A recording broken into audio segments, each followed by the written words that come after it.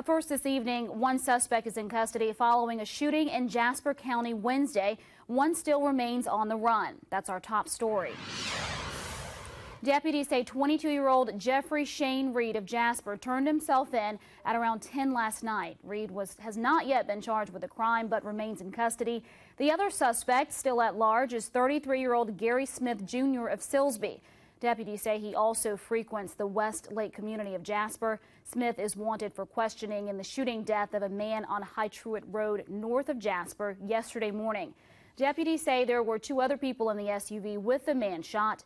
The identity of the man who was killed has not yet been released until family can be notified of his death.